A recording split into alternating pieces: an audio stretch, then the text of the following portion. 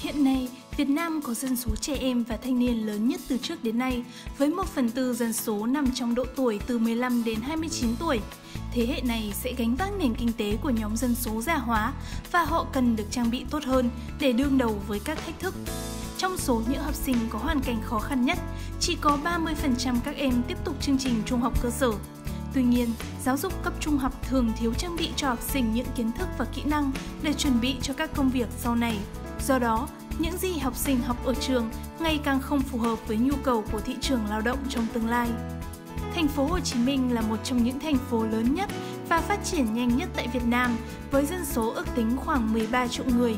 Dòng người di cư mỗi năm đã mở ra cơ hội cũng như tạo nên sự bất bình đẳng.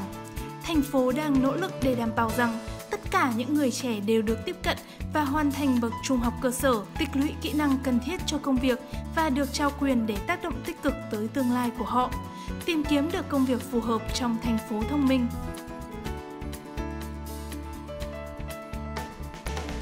Xin chào, tên tôi là Marian, Hiện tôi đang là trưởng văn phòng hợp tác chương trình của UNICEF tại thành phố Hồ Chí Minh.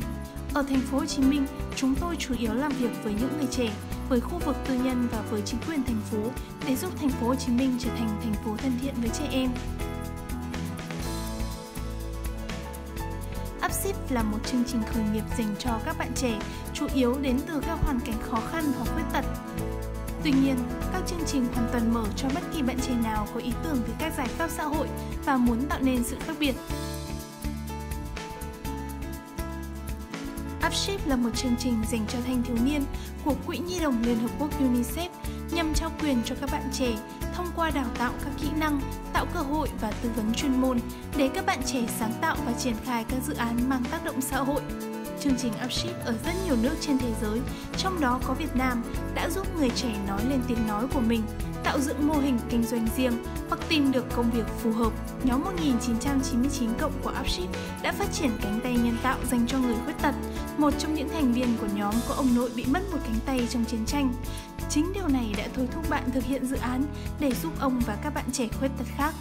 Nhóm YCI đã tạo ra phần mềm đọc sách dành cho người khiếm thị nhằm giúp các bạn này tiếp cận được với những tài liệu viết nằm ngoài tầm với của các bạn.